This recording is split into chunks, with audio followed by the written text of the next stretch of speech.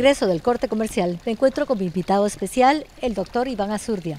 Bienvenido a Los Secretos Mejor Guardados, Iván. Muchas gracias, Vida, por este programa tan importante que nos ayuda a crear conciencia sobre el rescate del lago de Atitlán. Este programa va a denotar mucho de lo que se está haciendo ahorita para salvar el lago de Atitlán, porque en el pasado pues habían habido muchos esfuerzos, pero lo que se está haciendo ahorita es completamente diferente. Explícanos un poquito acerca de lo que son las plantas de tratamiento de desechos residuales que ustedes tienen ahorita en funcionamiento. Bueno, lo, más importante en términos de las aguas residuales es que las aguas residuales tienen que ser sacadas de la cuenca del lago de Atitlán. Eh, cuando tomamos Anclada y nos dimos cuenta que la cantidad de estudios que hay para hacer los sistemas de tratamiento de aguas residuales no son suficientes, son muy lentos y no vamos a resolver el problema si seguimos a este ritmo. Entonces se hizo con apoyo de Infom y de la Vicepresidencia de la República, de la Cooperación Española y del BID, un aporte, una donación al país para desarrollar un plan maestro que nos permita de una vez por todas identificar cuáles son las obras de infraestructura de ingeniería civil que se requieren en los 15 municipios que conforman la cuenca para resolver de una vez por todas las aguas residuales. Vamos ahora con Víctor Barreno, vamos a la planta de tratamiento. Hoy nos encontramos en la planta de tratamiento de aguas residuales del municipio de Panachel, Los Cebollales. Dentro de los procesos es una de las, yo creo que es la segunda o tercera planta a nivel nacional que tiene un proceso terciario, lo cual hace un poquito complicado. Podemos ver que tenemos hoy el apoyo de, de, JICA por medio de un voluntario japonés que nos está ayudando a poder ir conociendo y estableciendo los mejores pasos para poder venir y tratar las aguas residuales del municipio. Para lograr llegar a tratar el 100% de las aguas residuales que el municipio necesita, necesitamos construir dos plantas más para poder tener la cobertura del 100% de aguas residuales.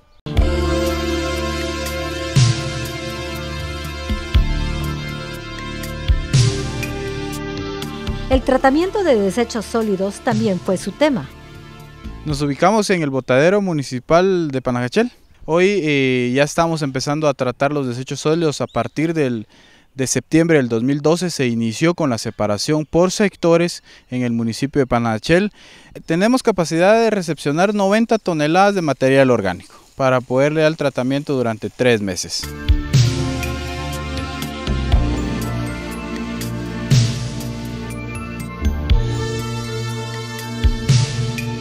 Con temas tan variados, no podía dejar fuera los invernaderos. Nos encontramos en el vivero municipal de Panajachel. La idea nació cabalmente hace aproximadamente un año en la cual vimos que estábamos produciendo abono orgánico con el material, pero no teníamos cómo utilizarlo. Entonces entre los técnicos de la oficina y la gente que nos apoya decidimos implementar nuestro propio vivero municipal porque como municipalidad nos tocaba que venir y gestionar quién nos donara árboles para las diferentes, las diferentes áreas que, se querían reforestar. Entonces iniciamos con nuestro propio vivero y hoy ya nosotros somos los que reforestamos algunas áreas municipales.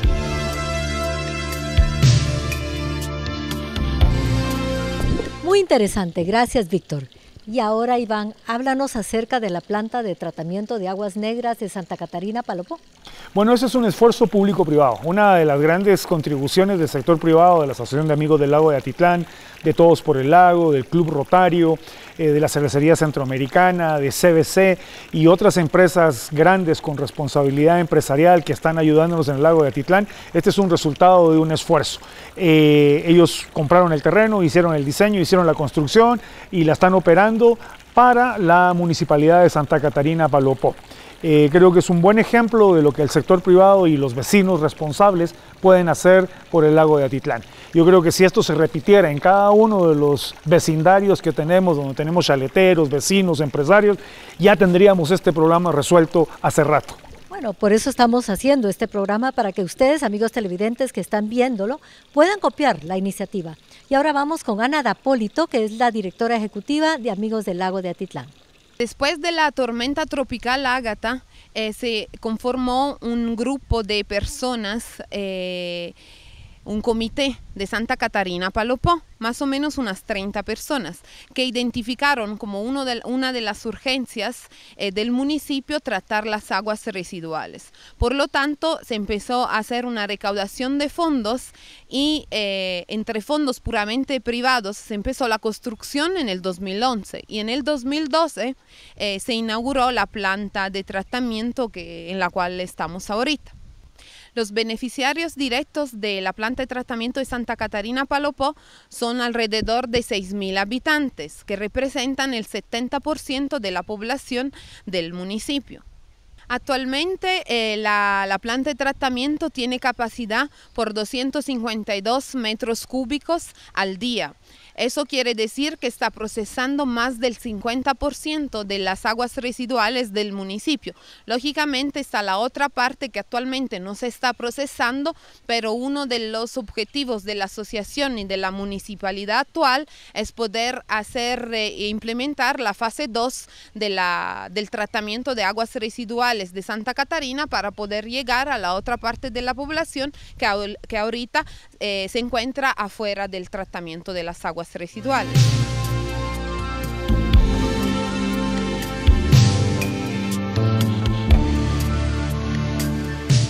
¿Y los hoteles están cumpliendo? Algunos hoteles sí cumplen vida. Algunos hoteles como el Hotel Atitlán, la Posada Don Rodrigo, el Hotel Porta, Jardines del Lago. Hay algunos hoteles grandes en, en, Panajachel y en otros municipios que están cumpliendo. Pero, por ejemplo, los hoteles que están en la calle de Santander, que llegan a tener hasta 70 habitaciones, no tienen permiso de la municipalidad para conectarse al drenaje, no tienen planta de tratamiento, no están cumpliendo, están matando la gallinita de huevos de oro. Por eso la semana entrante con INGUAT, con la, el centro de producción más limpia de la Cámara de Industria, con los bancos que ofrecen líneas de crédito para tecnologías ambientales, vamos a reunirnos y decirles tienen que cumplir con las leyes, porque dinero tienen ellos para invertir y no pueden no cuidar la gallinita de los huevos de oro. Así que eso se va a hacer. Vamos a dejar de molestar a, a las industrias y a los hoteles que ya están cumpliendo y empezar a acercarnos a aquellos que no lo están haciendo. Me parece formidable. Bueno, y vamos con Cintia de Paz, que a propósito no es mi pariente, y es la concierge del Hotel Porta. Yo sé que Portahotel del Lago está muy interesado en toda la parte ambiental, ecológica, y bueno, estoy segura que le vamos a dar todo el apoyo a esta iniciativa de Yo soy Atitlán. Yo soy Atitlán, correcto.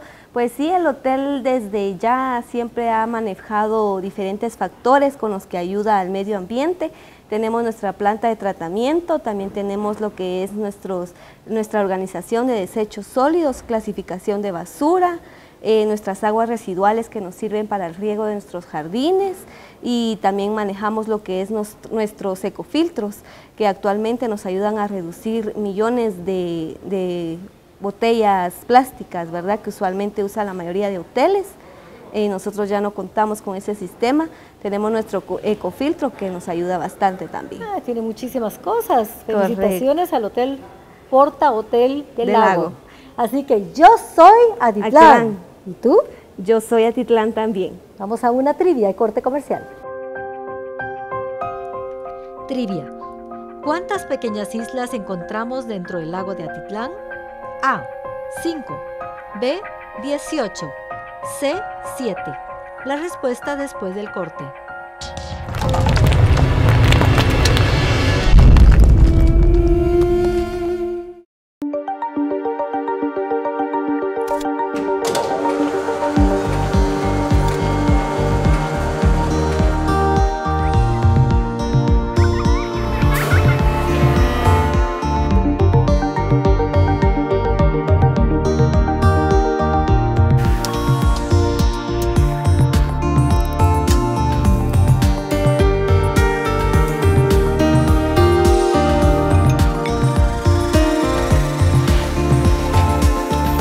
Hoy Latinoamérica avanza es gracias a ti. Nuestro continente despega con nuevas alas y el mundo mira con atención. Porque lo que tú has logrado es el sueño que nos pertenece a todos, que nos llena de orgullo. Es por ti, Avianca.